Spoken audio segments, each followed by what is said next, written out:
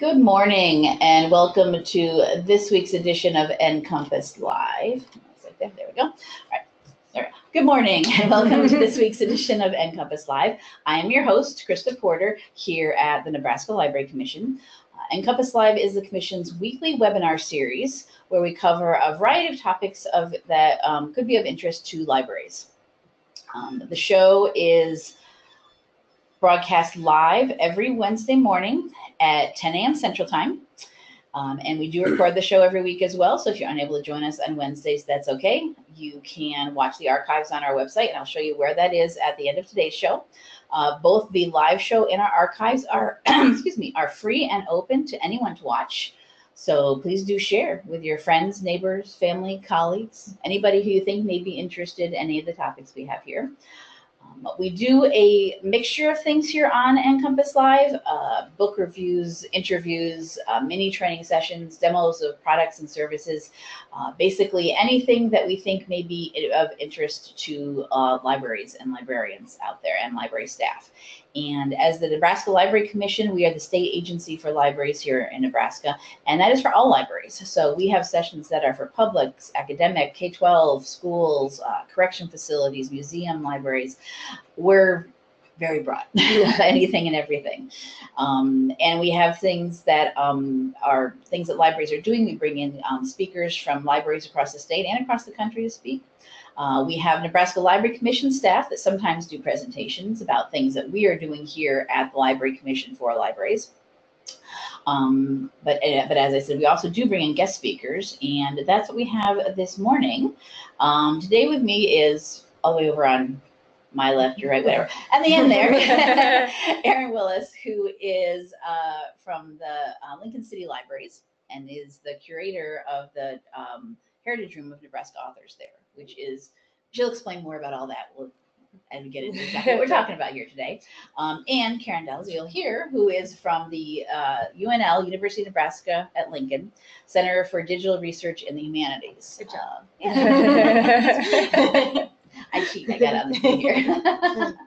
and um, they're going to tell us about um, the new Nebraska Authors Database, which just debuted officially this past weekend. That's right. Yeah. All right, so um, All right, get ready the mouse so you can do what you need to do. You can take this too. All right. Well, thank you all for being here and for tuning in today. Um, I uh, hope you've all had a chance to look at the website, I- and they can see this right now, right? Okay. Yes. Um, so the, the website that we are going to talk about is nebraskaauthors.org. Um, you should be able to see it here. And um, I'm going to go back a little bit before we start um, getting into the website and talk uh, about how the, the website started and why it started. Um, but first, I'm going to explain the Jane Pope Geske Heritage Room of Nebraska Authors. We are a special collection of Lincoln City Libraries. We've been a publicly accessible collection for 50 years, uh, 50 years this September. And so um, the collection is a physical archive, but the mission of the Heritage Room is to preserve, promote, and celebrate the work of Nebraska authors, past and present. And so part of the way um, that we do that is by maintaining vertical files, um, so individual files for individual authors of information that's been uh, discovered by our volunteers. And we discover information about authors um, several ways. We have uh, newspaper clippers who um, scour Journal Stars, Omaha World Heralds, um, smaller newspapers that are sent to us. And then we also rely on public um, patrons, librarians, people who send us information about Nebraska authors. And that information, after it's clipped out and copied on acid-free paper for preservation, uh, we have been for the last 30 years inputting it into a database, um, which we called the Nebraska Author Information Link. Uh, NAIL is the acronym. We called it the NAIL file, uh, which is very huge. but we uh, always like our acronyms. right. Um, but we uh, didn't think that was the best name for a website. so that's um, the information on that um, on that database. It, um, two years ago was when we stopped inputting information in the database and switched over um, to the UNL Center for Digital Research in the Humanities. Um, Karin, who's with me, will talk a little bit about what they do. But we passed off all in, all the information that we've been collecting for the past 50 years. Um, gave it to Karin, and she'll tell you um, maybe just a little bit about what the CDRH does and Okay. how, how that happened. Um, so yes, I work at the Center for Digital Research in the Humanities at the University of Nebraska Lincoln, and we are a center, as the name implies, that works with um, all things digital and humanity. So this project fit in very well with that. Um, we have a Nebraska portal. So if you go to our website, um, I think, yeah. yeah. Um, oh, there's Karin. yeah, there's me, um, and Jessica, and, and another the the Oh, person that that helped um, was Greg Tunink, which I let me scroll down a little bit and get him in there. There's There- Greg. There's him. so we are the ones that kind of built it. But if you go to our website, um, you can see we have a Nebraska portal. So I haven't actually added this yet. I should have done it before today, but um, it'll be added to this. And these are all our projects that have to do with Nebraska. So this project fit very well into that that family of products. Um, and so uh, my boss, Kay Walter, who is the co-director of the center, actually was researching for a different website, and she went to visit the nail file and was very frustrated by the searching limitations on it. And so um, she kind of said, "This would be a great project. It fits in very well with our Nebraska themed um, portal, and we should we should make this more accessible because before also you you had to go to the library or else you had to call a librarian and have Right, them mhm. search in the database. It was database, right? only. Yeah. yeah so so online. people couldn't just search it online and so um, that's kind of the origins of the project Right. So this is a um, cooperative project of the CDRH and the Heritage Room. And um, I'm going to go back a little farther now just to explain the librarian's role in understanding Nebraska authors and Nebraska literature. Um, a hundred years back, in fact, to the first resource that was available to librarians. It was published in 1918, um, and it was called a Provisional List of Nebraska Authors. It was um, published by a librarian, a public librarian, Sophia Lemmers. And um, I'm just going to read a little bit from the introduction. Uh, the imp- introduction was written by Malcolm Wyer, who was also a librarian. Um, and this explains, you know, their, the first attempts to sort of um, keep track of Nebraska authors as a group. Um, and he says, this list of Nebraska authors has been prepared to answer the many demands for such information that have come to this library. The frequency with which this reference inquiry appears, not only in our library but elsewhere, is shown from the fact that manuscript lists of Nebraska authors have been compiled at Lincoln City Libraries, State Library, Library Commission, State Historical Society, Legislative Reference Bureau, um, et cetera, et cetera. The introduction goes on and on. But every independent library, the Library Commission, the Historical Society, we were all um, trying to gather information on Nebraska authors, and, And there wasn't doing it separately. and doing it separately. Yeah, I mean, there was a whole lot of redundant effort happening, and there was no um, no one really aggregating this information and coming up with a um, author- authoritative, definitive list of authors. So the 1918 book was the first book to um, to really collect all this information. And what he says, I think, rings true today about Nebraska uh, or librarians um, receiving a lot of requests about Nebraska authors. I know at the Library Commission, Oh, yeah. um, I've talked to your librarians, and that, you know, that's always a question of like, what Nebraska authors published a book in 2017, or or you know, whatever. Who who are the Nebraska authors who live who are from Wymore, or you know, I mean, there there are different questions that come up, um, and there isn't. Uh, to my knowledge, a way to until now to um, to answer um, to answer those questions. Um, and it, I will say it's still a work in progress. We still can't, you know, um, be sure that we have all of the information that's out there. But we're um, this is a this will be a, a living website for a while. So we're hoping to have um, more contributions for um, from everyone, from librarians and the public. But um, moving forward a little bit, there was another guide published in 1934 by a librarian, Alice Harvey. Um, and this this is the funniest bit. Um, for me is that in 1934, Willa Cather had already published, you know, a- quite a lot of. I mean, Oh, she'd yeah. already won um, the the Pulitzer Prize. I mean, she it, it was um, she was a big deal, and we had um, great literature coming from Nebraska. But Alice Harvey writes in her introduction, Nebraska is still in its infancy as far as literature as li- far as literature is concerned. It takes many hundreds of years to produce the background and traditions of a nation. Um, and little can be expected in the short time this Western country has been developing. But we are proud of our beginnings of our literary work here in Nebraska. Um, so that was in 1934. She published a reissue in 1967 saying, Whoa, we've got a lot of great authors in Nebraska. Sorry, um, and then uh, later on, you know, there, there have been several um, less official guides published, but in 1967 for the Nebraska Centennial, there was a, um, a literary map and author guide published, and this literary map is now at the um, at the Library of Congress, and so. And the, there are literary maps for most states at the Library of Congress. That was updated in 1998 by Jerry Cox and Carol MacDaniels with a new literary map. Um, and the, uh, Dr. Brooke, who Karin probably knows, the um, center or the Nebraska Writing Center, um, he wrote the introduction to the book, and I I love this I love this piece. Um, so this is from the very end of his introduction to the Guide to Nebraska Authors, which was the 1998 edition. Um, and Robert Brooks says. They're a diverse set representing a range of fame, occupation, and purposes for writing. They are all members of Nebraska communities, folk who live or once lived just down the just down the street. You'll find someone you know in these pages.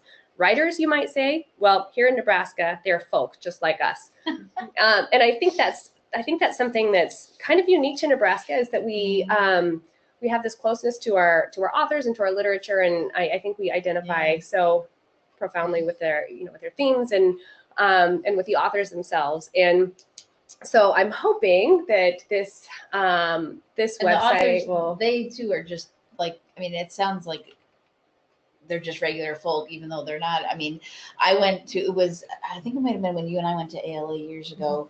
Um, Brandon Sanderson was there Oh, right, signing, yeah. doing, along with other, you know, big sci-fi authors with, um, Mhm. that's, um, Cory Doctorow, him, yeah, and a couple other, and we went to him to get signed. And he's like, "Oh, Nebraska, hey!"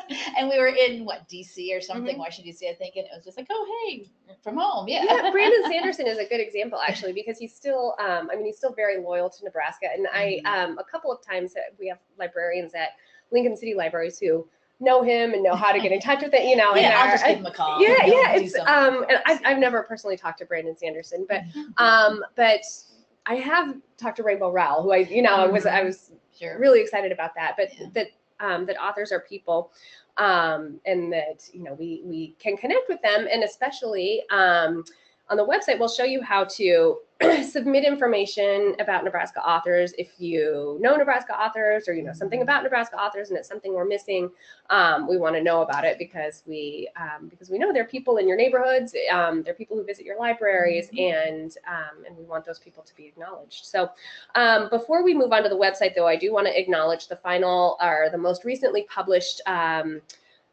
book, Physical Guide to Nebraska Authors, and that was uh, an it, um, another extension of the Guide to Nebraska Authors that was published by Jerry Cox and Carol MacDaniels.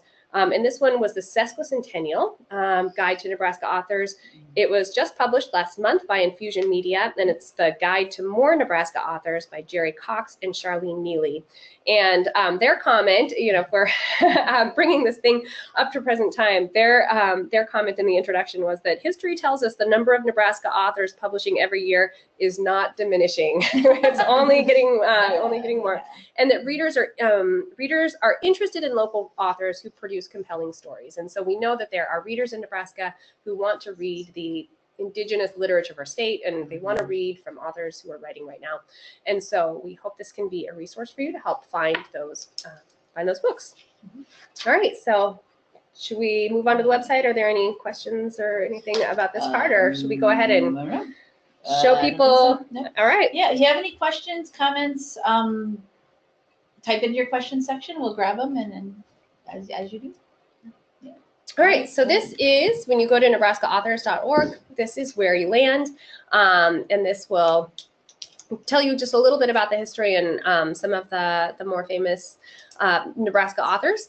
Um, and then let's go straight to the browse feature. And Karin can tell you how our featured authors, I've tried to explain this several times there. Um, every time you refresh this page, you'll get a new set of featured Nebraska authors. So if you're just, you know, if you want to direct somebody to the page, maybe, you know, you might say, oh, Christopher Lasch, who, you know, who's this guy? And then you can, um, you know, you can click on it if you don't know quite know who you're looking for, but just want to learn something about Nebraska authors.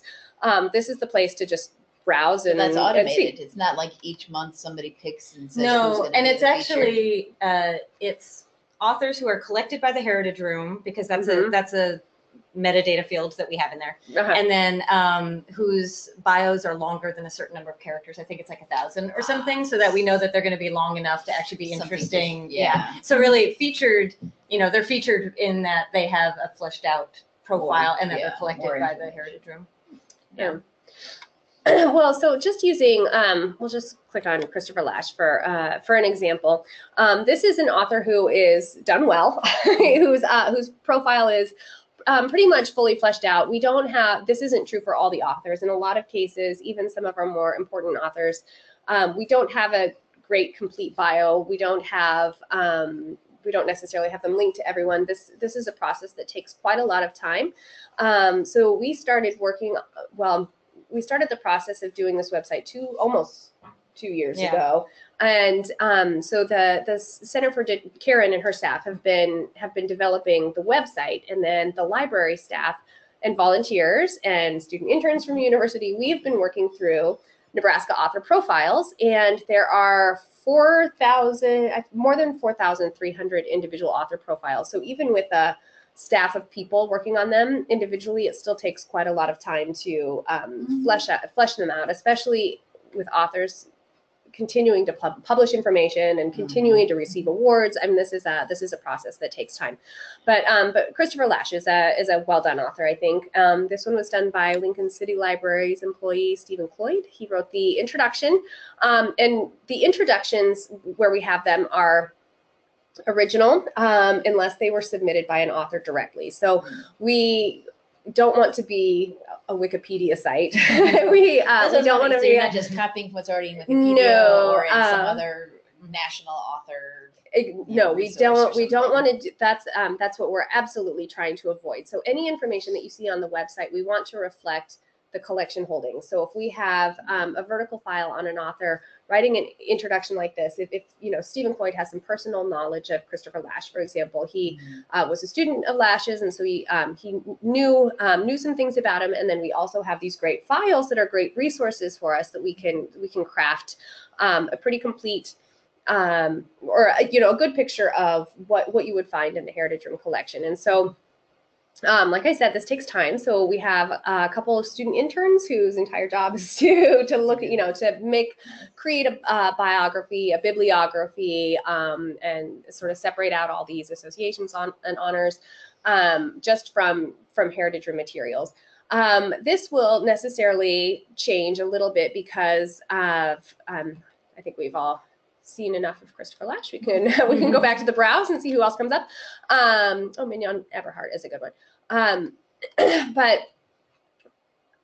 um, what's happening now is that we are we are accepting new author profiles, and so anything that comes to us now, if an author sends it to us, we we use as our source Mm-hmm. author submission, and so it's possible that you'll also find this on their Amazon profile and on their um, personal profile on their other website. You know, places, so I think um, for a lot of these authors, these older authors like Mignon Eberhart or like Christopher Lasch, these are our own original. Um, but any modern authors, um, we're not going to be able to keep up with with creating uh, original content for them. That's and great so- that they'll submit it to you on the on to help you. Yeah, yeah, but they'll submit it to us. themselves, But um, but unfortunately, a lot of those are going to be um, unless we get a lot of you know funding to really to really create these things on our own.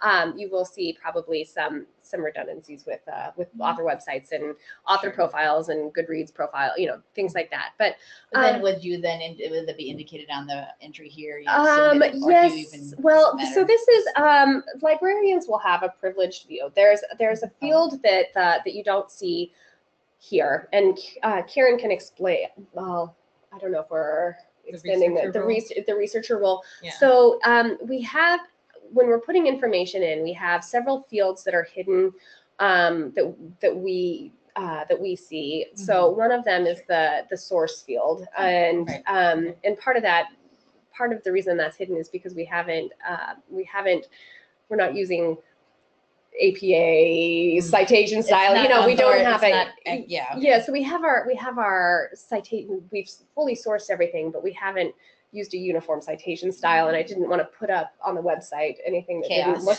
Yeah, exactly, exactly. Somebody so would quite say something. yes. So if someone does want to do more research, I- they can contact you, right? Right, At this and- point, mhm. and you, and librarians can get access to that other role, which also gets you access to the unpublished authors, because there are a number of authors that have not been published yet, because they have to be vetted in this process. Takes a lot of time, a Mhm. lot of volunteer work. Um, so we don't want to put it out there for the general public, but this is also something that if you, if Erin can make you an account and. um, Right, right. And you can use it to view all of those types of things. And so that is an option. If you find that you're answering a lot of questions for Nebraska authors, there is um, there is a way for you to to have greater access to the website and to be able to see to see some of More the some of the fields that are um, privileged librarian access. So so um, so get in touch with me. Well, I will let you know how to do that at the end. Or actually, I'll just show you on the website how to get in touch with me. Um, but let's look at Mignon Eberhart just for a minute. Um, she was one of the great um mystery writers. She was a former librarian at the, or I mean, at Lincoln City Libraries, and um, and I don't know if it says it on here. It probably says it in a hidden field that she she got bored and um, decided to write mysteries. Um, and so she was um, prolific in her time and had some really great fans.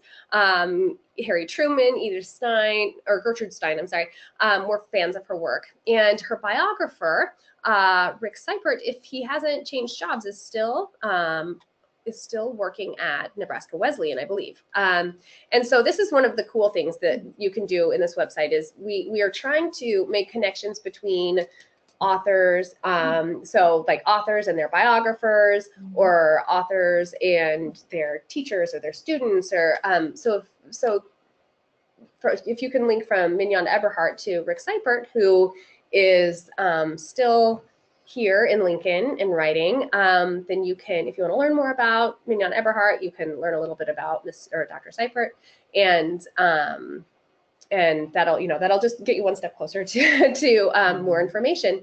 Um, and then we use this associations field that you can see right here to uh, to to link to different you know to to just expand the web. So if you know now that you're at Rick Cypert, you can also see that oh he worked with Bill Kloefkorn, who was our state poet, and Bill, from Bill Kloefkorn, you can link to other state poets or um, people who wrote about him or wrote with him. So the just by going from one record to another, you can really um, you can really go pretty deep into um, into the rabbit hole of you know Rick Cypert and his connections or Mignon Eberhart or um, whoever. So that's uh, so you can do all that, but we just we started at the browse screen and um, you know you can you could do quite a lot from there. Just if you have free time. I mean, this I imagine this is probably falling through Yeah. yeah yeah, and I imagine this would be acceptable desk time, uh, you know, activity just to you know to expand your knowledge of Nebraska writers and you literature. who's going to be asking and needing readers advisory on some topic exactly, and it's will- yeah and it's pretty fat. I mean, it's a it's a pretty um, interesting um, and enjoyable way to spend time, I think. um, so so those are the featured authors, um, and then there are different ways to browse if you are if your patrons are looking for fiction by Nebraska authors and you you just want to know who's writing fiction. You can I mean you can just search for fiction. It looks like there are 651 authors. I'm surprised that number's not bigger, actually. right, um, authors writing fiction in Nebraska.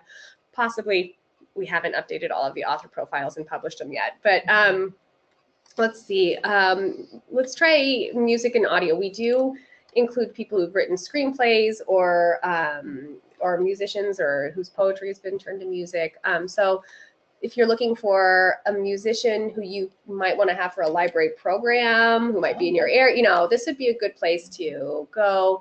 If they don't have a death date, they're probably still living somewhere. Yeah.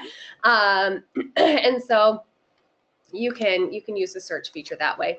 Um, one of the ways that, or I mean the browse feature, I'm sorry. One of the things that we did this year at Lincoln City Libraries was for the Dia, Dia de los Muertos in um, October with the Downtown Lincoln Association. We needed to find any authors who had recently died so that we could celebrate them with a with, with an ofrenda um, and celebrate their work and their life.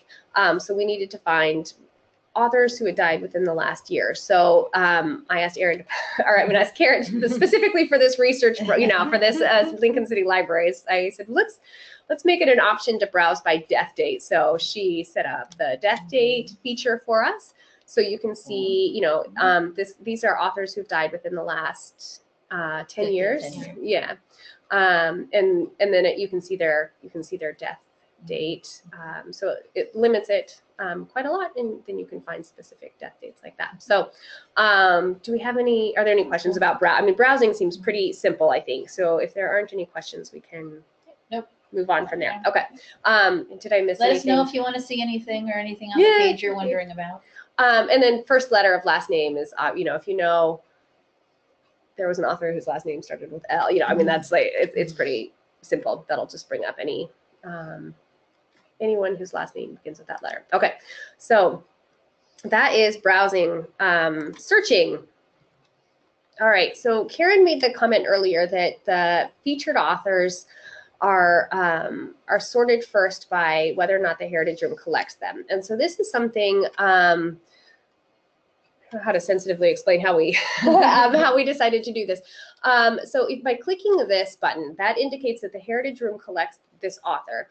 And our collection policy has had to change a little bit in recent years with um, self-publish, indie publish. Um, we we have there's quite a lot of people publishing, um, and I'm sure your your libraries have similar policies. But we the Lincoln Libraries Different purchases libraries through have, yeah. Yeah, yeah. Will or won't take local and um, self-published, depends, you know, if they're from our town, of course we would. then of course yeah so we have Yeah. a similar we have a similar policy and we um uh right we that that it allows for local authors um but published authors certainly we collect. And um so if you want to search for authors who um who fall within our collection guidelines then you can you can click heritage room selects or heritage heritage room collects so um looks, looks like without selecting that there are 2317 um, authors that are in the or that are available right now. But if I do the Heritage Room collects, it, mm, well, huh? We knew something would break. Oh, Yeah. Um, Well, Do so you have to hit the search button to make it do it? I think she did though. uh, yeah, I did. Sorry. So okay, so huh? Okay, Uh, so I will write that down as something to look at. We just launched this last Sunday, so Right, we're gonna be So- finding problems. Or maybe we just collect. Actually, this is That's this might not be wrong because we have prioritized authors Oh, right. whose work we collect, and so it's possible. Um, there are 2,000 additional records that haven't been published yet, so it's possible that everyone who's published are authors we collect. So I'm I'm just sure gonna say that that, it's not yeah that it's not probably a collect or a problem with the website, but that anyone up there right now is are authors that we've prioritized, which means that we So collect they, their work. got So- them into the database first. yeah, right, And right. then eventually though, there will be more. There'll be more authors. Nebraska authors, but not, not collected by the Heritage. but their work is not collected by us, right? Um, so so that um, so I guess this will be more important in later searches after we've you know after we've updated more records. But um, so let's just uh, use this field right here um, first, and this there are several as you notice with with the records. Um, I'll just click on the first one here so you can see there are different uh, categories: places lived, um, what kind of work they do, the author of, keywords, education. These are all individual fields that you can search in. Um, but if you want to search all of those fields uh, to find, let's say you, you want to search for, um, I'm just going to say botany because I saw in the last browse that Bessey came up, and I'm hoping he comes up with botany here. Or was it? Yeah, maybe that's it. There we go. You just have to push Yeah, really I hard. think Our Okay. wireless keyboard has. okay, there he is. So um, I'm searching for botany right now, and it's searching anywhere in the field. So it's saying, you know, in the it might indicate um, botany in their bio or in their degree. You know, it might Or be in in their title educational or degree, or something, yeah, yeah. maybe that botany in their title. I'm just going to use Charles Bessey because he's kind of the the father of botany at um, the, University of Nebraska. Um, and so you can search, uh, you can find any botanists from Nebraska, and this will, you know, within any, so if you don't, if you don't see all of them just by searching botany that way, within in any individual author record, you should be able to find your way around botany publications coming from Nebraska. So, um, so there's Charles Bessey. He has a he has a pretty good um, can learn a little bit about him from his bio, but then you can also learn about Frederic Clements. Um, from Frederic Clements, you might want to go to Roscoe Pound, and then from Roscoe Pound, you can you can just you can go anywhere. You can talk about law. You can talk about government. You I mean, so um, so there's a lot of crossover here, but um, but that's just you know, that's just from searching for botany in the general field. So let me see. And I will mention too, um, for that researcher role, Uh-huh. um, that searches those hidden role, roles Oh, or right. hidden fields if you're logged in. So for the public, when they search this, they're going to search the non-hidden fields. But if, if you were to have that researcher role, it searches all of the fields, including the hidden ones. So there might even be some Get additional other information. results. So that's another good reason to try to get that role. And Mhm. um, and I would say the first people that probably contact you are going to be our beta testers. So just be be aware of that. right, right. We're going to Okay. try to break this. Yeah. It's okay. Um, so, uh, do, do you want to give any other examples? Should we find any other examples for, um, Um, like, I'm terrible at thinking of things to search for. Anybody out there want us to search for something particular? Type it into your question section. Let us know and we'll, we'll, and type in anything. I'm gonna just type in like a, a date, for example. Um, 19, uh, I'm gonna try using these keys. I'm not Yeah. sure that this is, my keyboard's working great.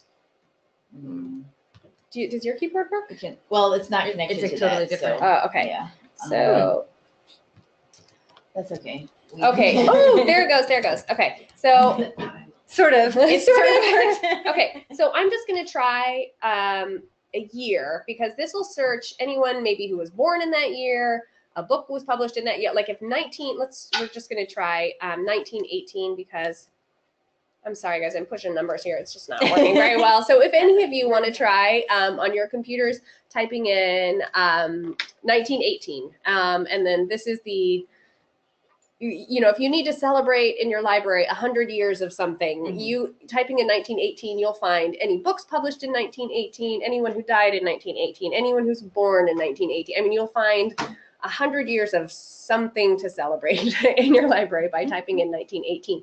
Um, but since the keyboard's not working, we'll go back to that. Um, and maybe We're gonna we're, we'll figure this out. Um, so while we're getting that set up, um, let me, right now, all of the records are, uh, are available. So let's look at, um, Grace Abbott. There's a lot of Abbots. There are a lot of Abbotts. Yeah, they're, they were all, uh, there are a lot of Abbotts reading and writing. So, um, Grace Abbott was, um, great social worker. this.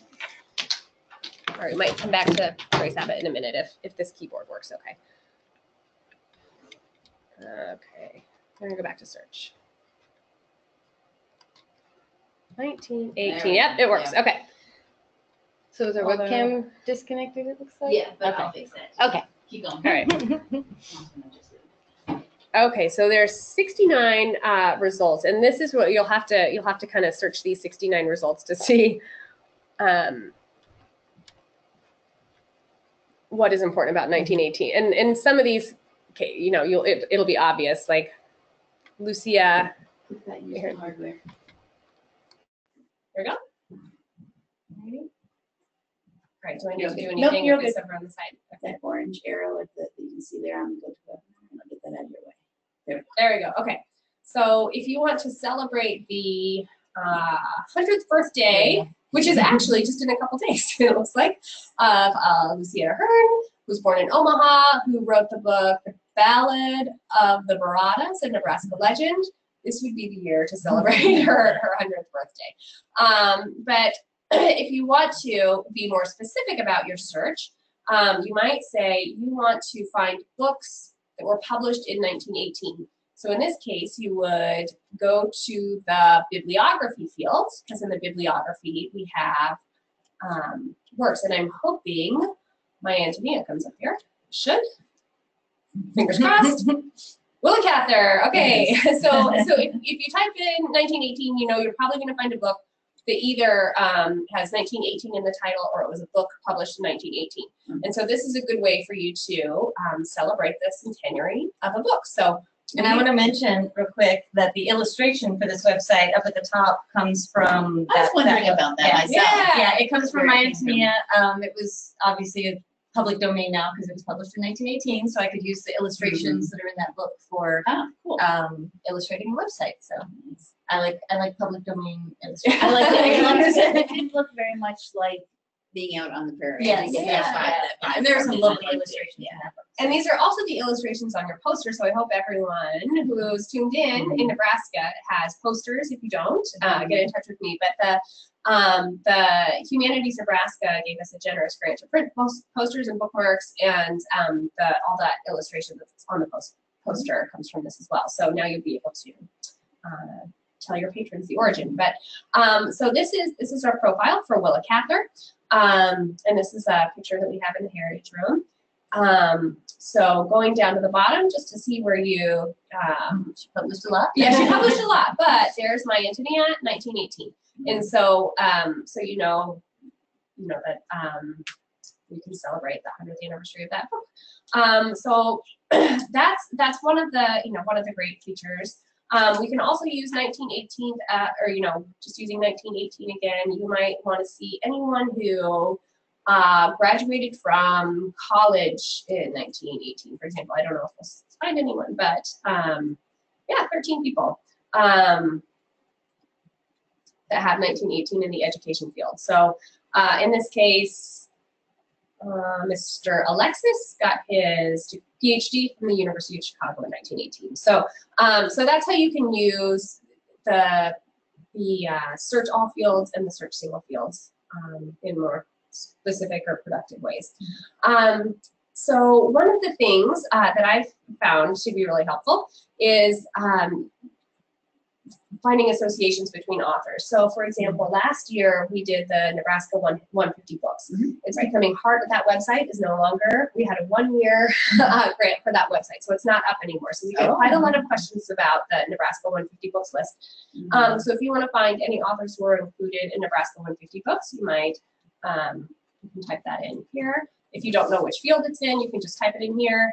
And uh, okay, so it looks like maybe it's searching any I think it's any of those any of those words. If you want to Okay. search for the phrase, I think you can put quotes Put around it. Let's see if that works. Um, okay.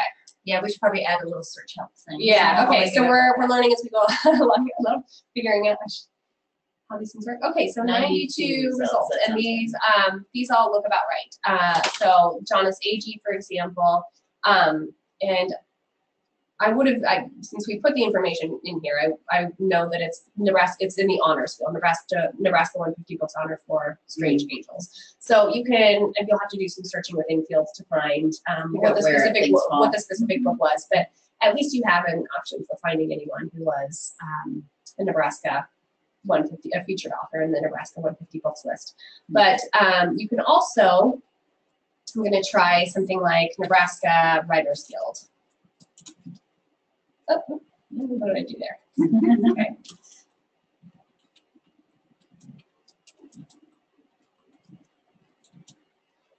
Let me see, comes up. Um, and there should be more of these. Um, in a lot of cases, if Nebraska, um, when authors submit their information to us, they don't, they're not always complete about um, what they what they submit. Uh, so at some point when we are um, when we have more time to work on, right now we're working on individual authors, but when we have more time to do things like we want to know who's been in Nebraska, you know, the whole history of the Nebraska Writers Guild. We want people to go to our website and see anyone who was ever in the Nebraska Writers Guild. We'll we'll assign that might be a good task for a um, student intern sometime to you know research the history of Nebraska Writers Guild.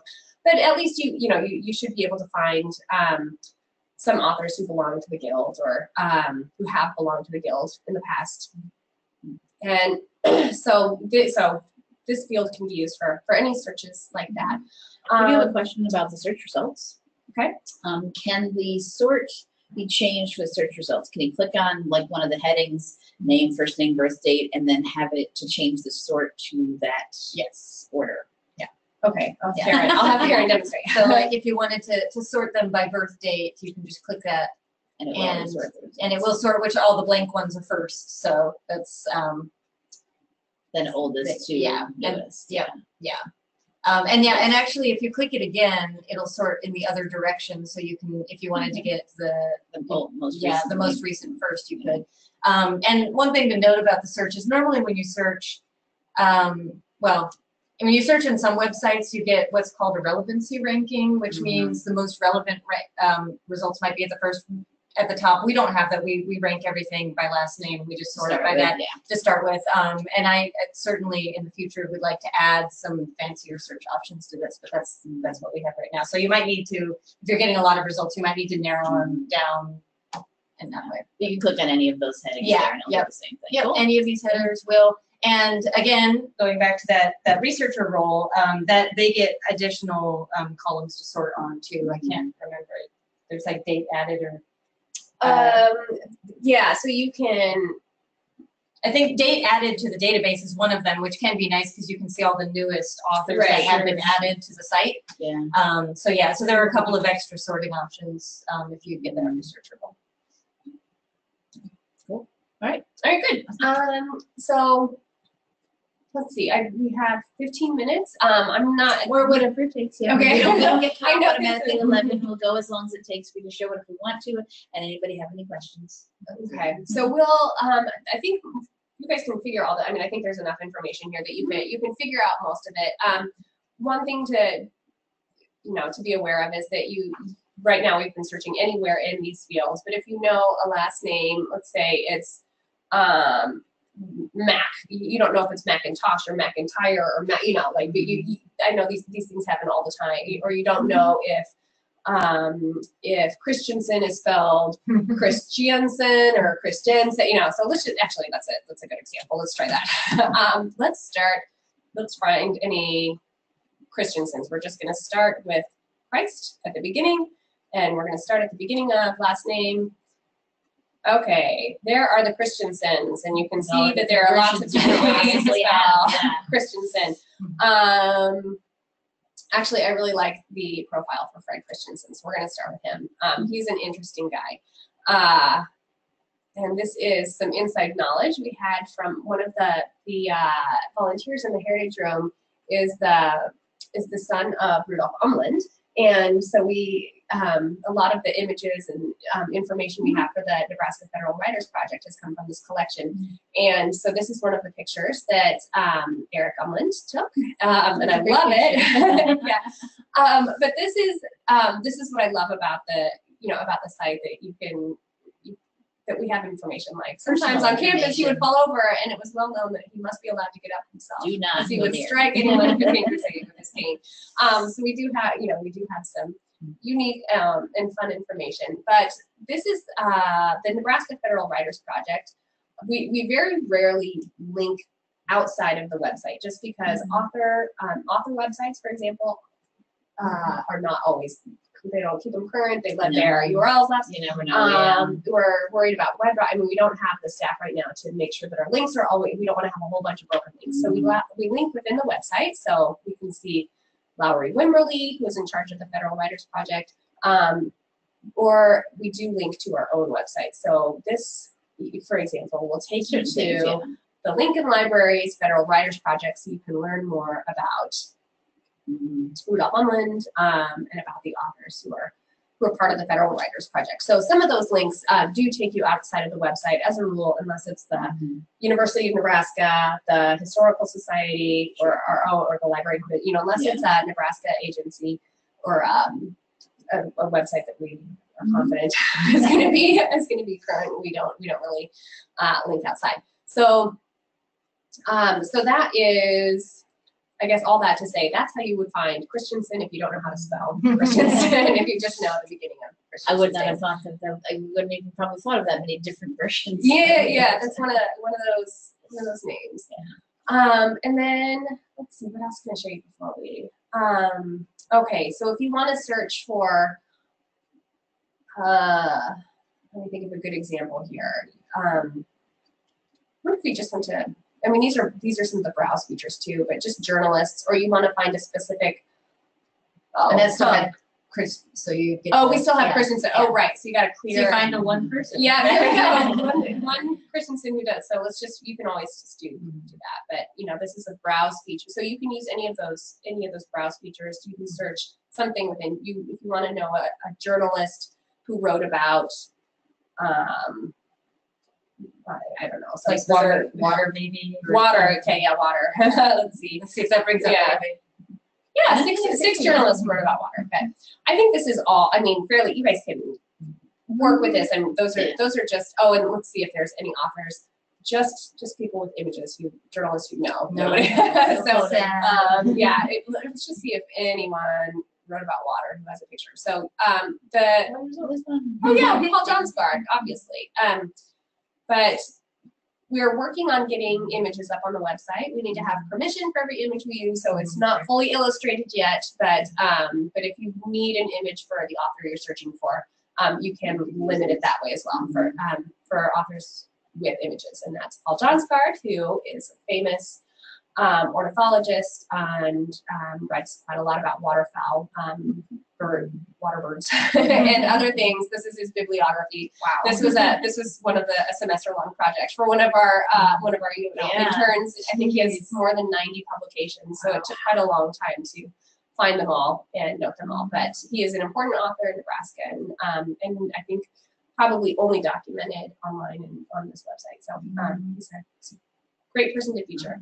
Okay, um, I'm going to go, unless there are any questions right now, I'm going to show how to contribute information. Is Right, that? yes, that's what I was wondering about, yeah, how, what Yeah. are the criteria and how do you get? Yeah, so more. within an individual author, and we'll stay here with Johnsgard, um, if you are looking at an author and you know something about them that we don't have on there, Uh-huh. um, let's say their bibliography is incomplete, you know that they published two books since the last one that we have noted, or or if you have some interesting biographical information, or um, in a lot of cases we don't have um, maybe a birth city, or you know there there are things that um, would be helpful. And oh, actually, before I do this, I do want to show Birth City because this is um, so.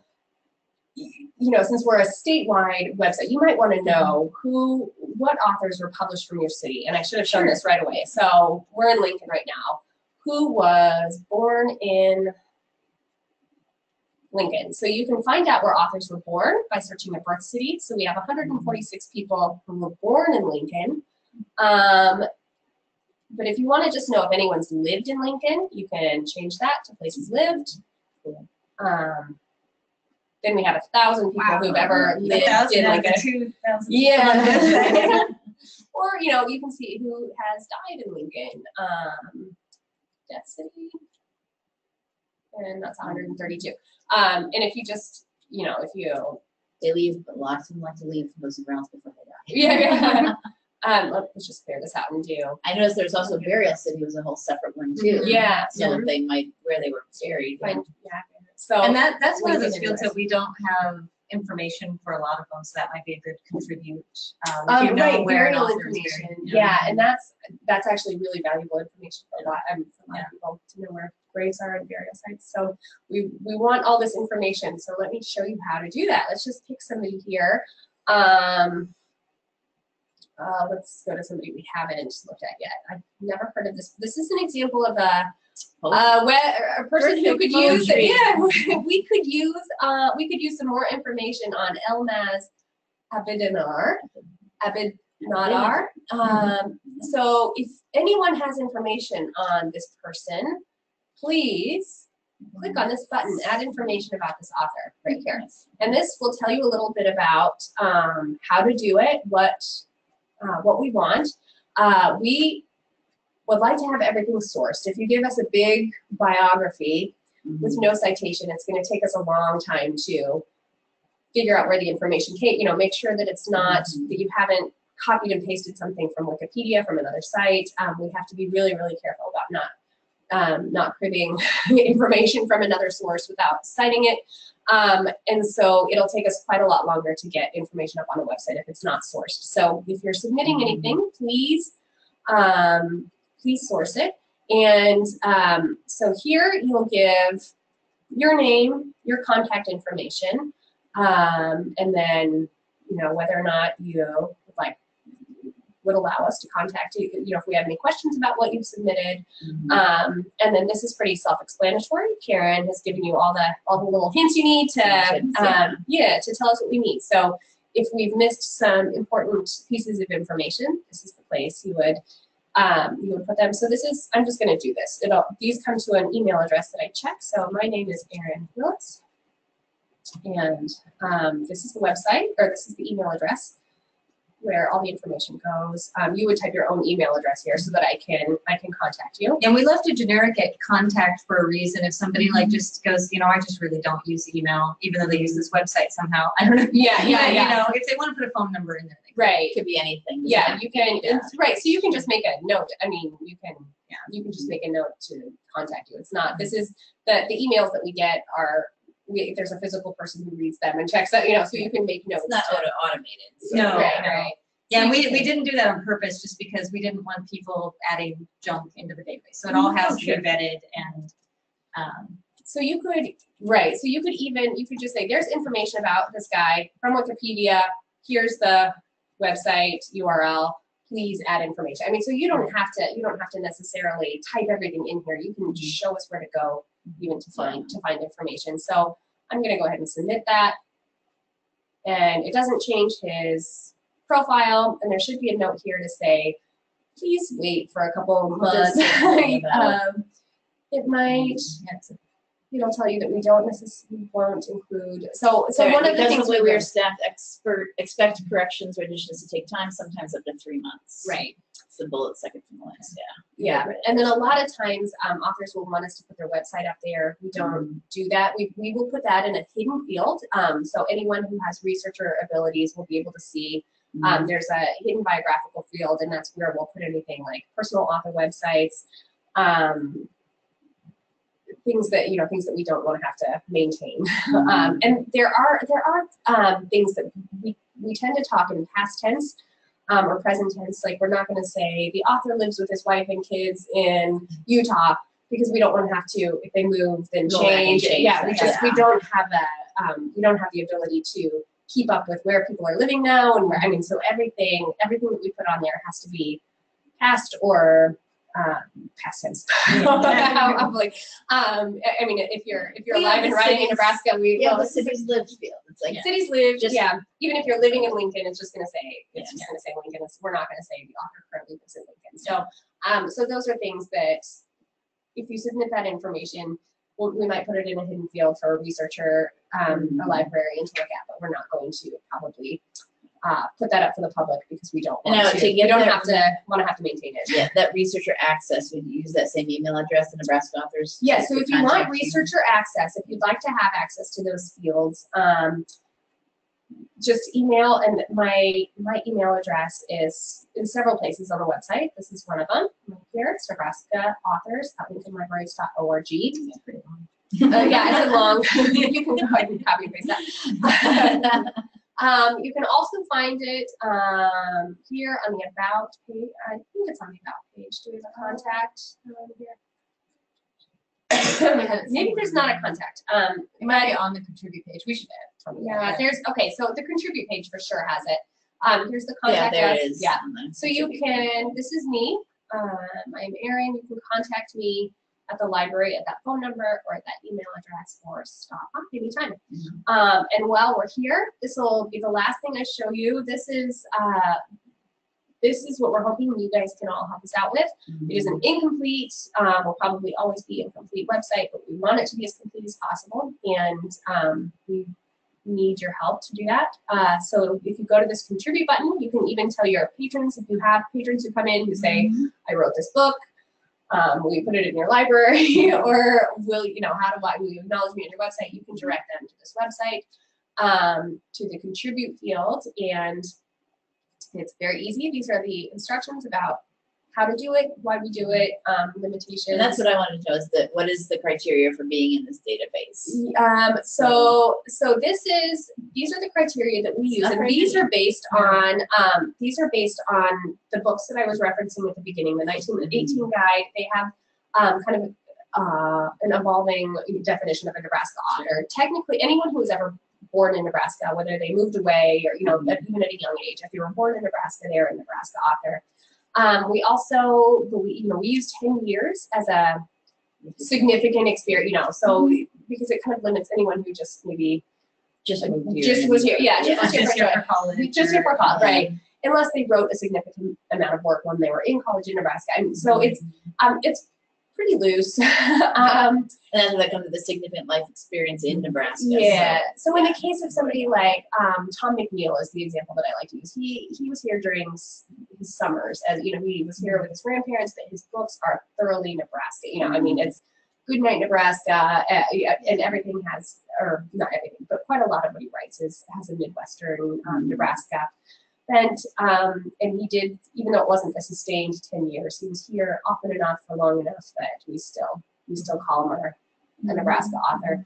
Um, in a lot of, in some cases, and I can't think of an example right now, but if somebody's not a Nebraska, if it's clear that they're not a Nebraska author, we might say in their profile, he doesn't fit our def- definition of Nebraska authors, but we include him here because of his association with this exception. Yeah, yeah. reason, So yeah. it's not a, it's not hard and fast. Um, but we, And again, going back to that researcher role, there are a few people in there that have been rejected from the public website, but, but kept in the database. Mhm. And so there might be people that don't meet the criteria, Right. but we don't delete the entry because maybe a researcher might have a reason to find them, but, right. um, so there are a few entries like that in there too. This is all types of writing. This isn't just fiction. This is This is all types of writing. Yeah, Yeah. screenplays, music. Yeah, Yeah. we, we include there are even some artists in there, you know, whose contributions were um, significant enough that they were written about. You know, that there's enough literature about the.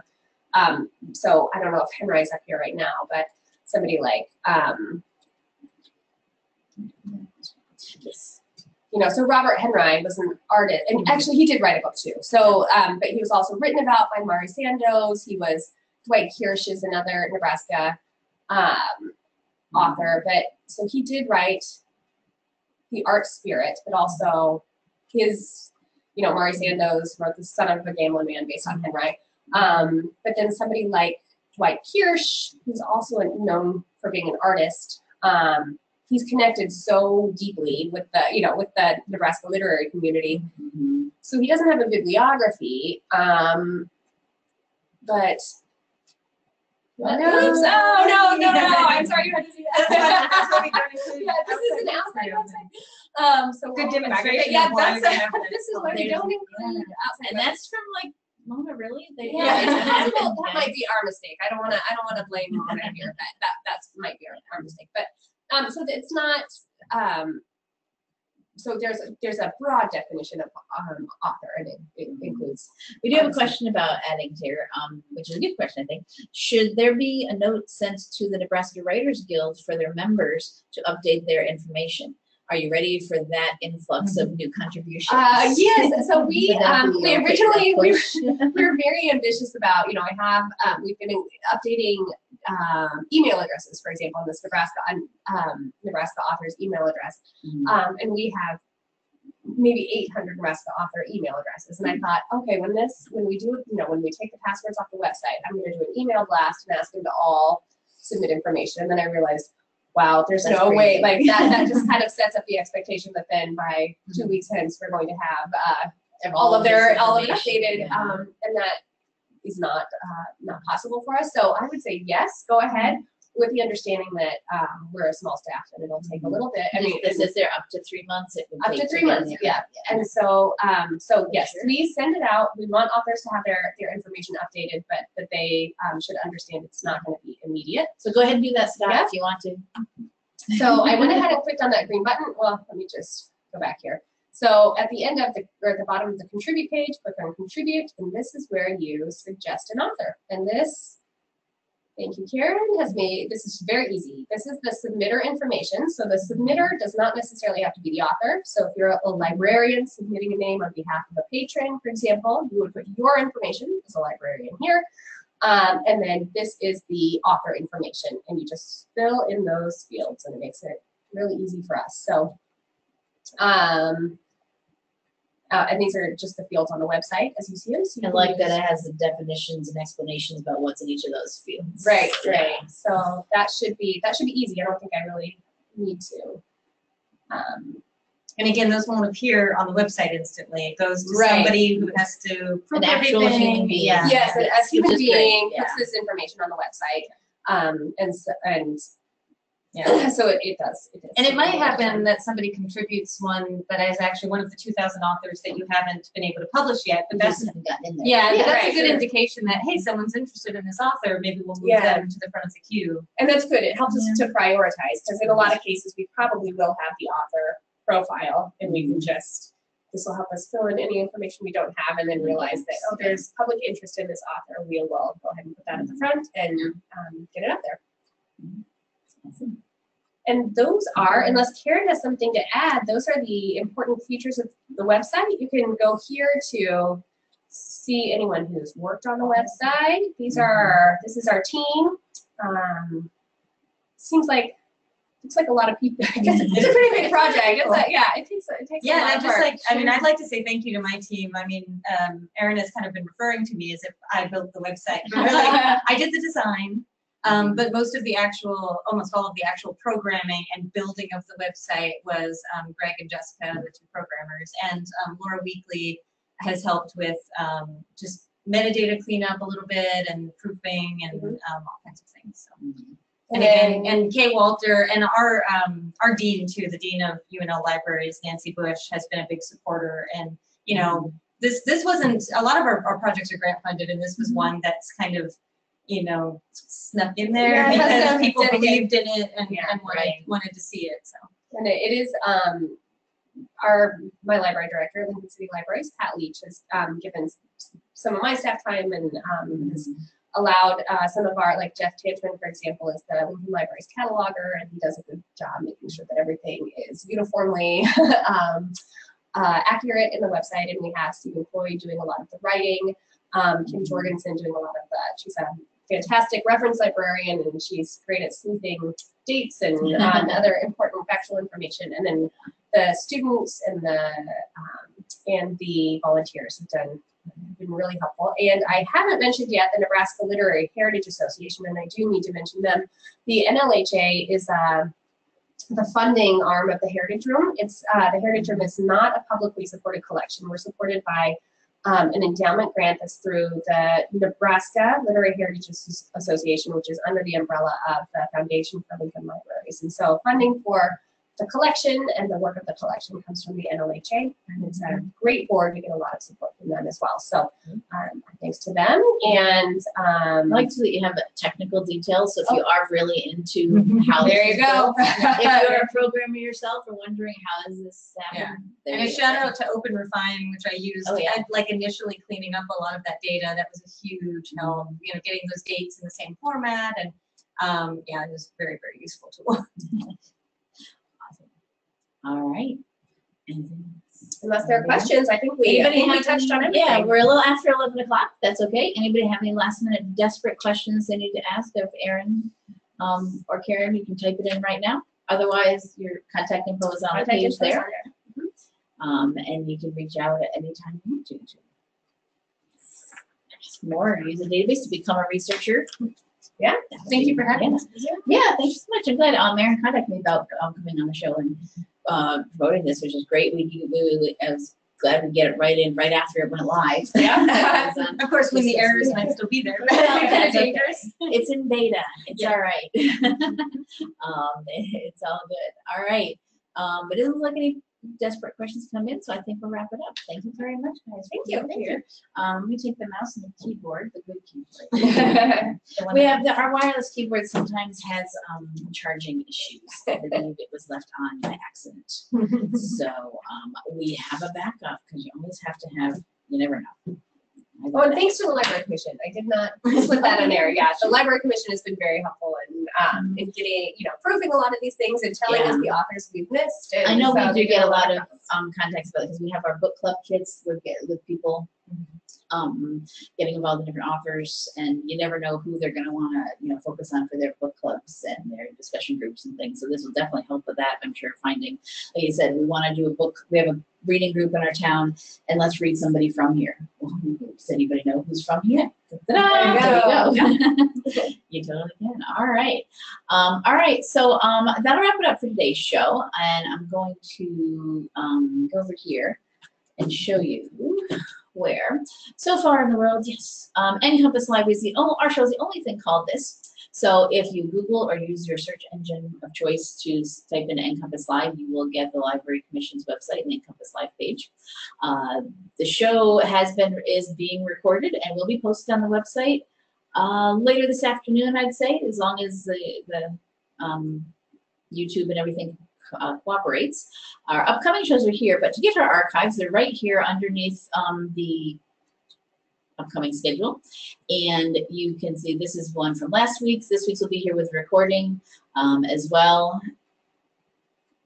There's no presentation, there's no slides or anything. If there is slides for a presentation, they're included as well. I think we have this one from last week. Yeah, so there was a presentation for this one um, and a handout. So whenever there's anything like that related to a session, we do include all of that. So the most recent ones will be here at the top of the page. So later this afternoon, um, today's show will be posted on there. I'll let everyone know who registered for today's show and attended today when it's available and ready to um, watch.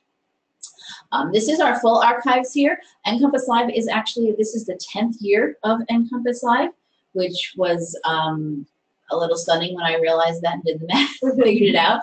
Um, and I'm going to scroll down here. Um, anyone who gets a little uh, vertigo, close your eyes. I'm going to scroll all the way down. This is our entire archives are here for all 10 years. So if you go to the very bottom of the list, January 2009 was our very first show. So yes, you will find um, old sessions here. We have all of the archives. They're posted to the Nebraska Library Commission's, the recordings are posted to the Library Commission's YouTube account. Um, and they're all there, so you will find things out of date, um, uh, old information, outdated information, potentially incorrect information 10 years later, but they're all dated, so you know exactly when it was done. Um, we are librarians, we archive everything. So that's the deal. It's all on here. I'm going to scroll back to the top now. You can also search this. We do have a search feature. It's just recently been added to it. You can limit it to the most recent 12 months if you want to, or search the entire archives. And you can search here um, by anything, any information that's listed in a section here. So um, author or presenter, anything in the title, in the description, all these fields here about the, who the presenters were listed down here. This will be all be included when you do a search in our archives. Um, oh, we do have a little comment. Oh, somebody did comment about the data about you guys, about the, um, the Nebraska Authors Database. Um, thanks so much for this project. I know a lot of our libraries are going to love having this resource. Thank you. Good. We hope so. Yeah, hope it gets more out there, yeah. So, um, so that'll be the archives, and I hope you join us next week then, when our topic is another, actually, UNL session. Um, your partners in service accessing UNL libraries resources. Uh, Dana Budden and Joan Konecki from the University of Nebraska Lincoln also here will be coming over here next week to talk about the resources that are available at the libraries, even if you are not a student or affiliated with the university, they have services available to you. So um, they will be on the show next week, so please do sign up for that or any of our other topics we um, have here coming up. I've got all of May booked and posted. I'm working on sessions for June, so our, our, our sessions are very posted very um, immediately. So um, I'm, I'm always on top of anything new that might be coming up. So I don't have like things booked out six months ahead of time. I have booked out this much ahead of time. So um, keep an eye on our, our schedule here to see if anything new comes up. Sign up for any of those that are on there. Also, NCompass Live is on Facebook. So if you are a big Facebook user, give us a like over there. There you go. And you'll be notified of when new sessions are um, being posted. Here's a reminder to log into today's session when we, no, I don't want to log in. um, when um, recordings are available. So if you are, um, if you like to use Facebook a lot, like give us a like and you'll be notified over there of what's going on with the show. Other than that, that wraps up for this week's show. Thank you everyone for attending this morning. Thank you guys for coming over here today. And we'll see you next time on NCompass Live. Bye-bye. Bye.